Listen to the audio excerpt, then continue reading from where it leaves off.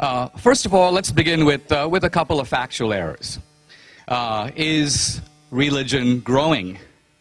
Globally, the answer is yes. In the West, the data is debatable.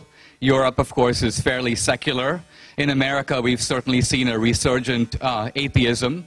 But worldwide, there's really no debate. Professor Dennett really didn't cite any sources. I'll cite one, the historian Philip Jenkins, uh, his book, The New Christendom.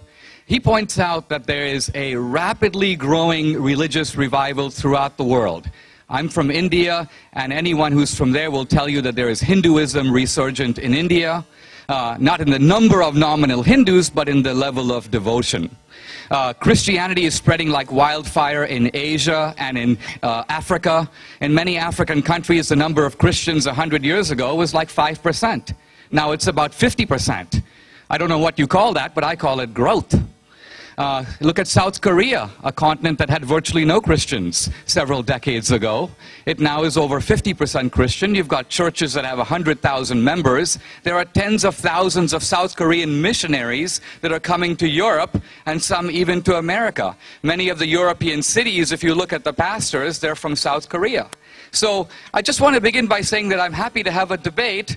Everyone is entitled to their own opinion, but everyone is not entitled to their own facts. Okay.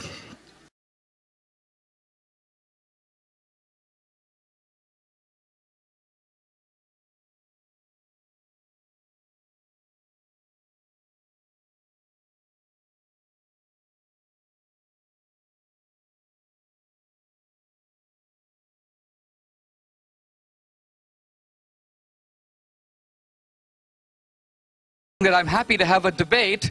Everyone is entitled to their own opinion, but everyone is not entitled to their own facts. Okay.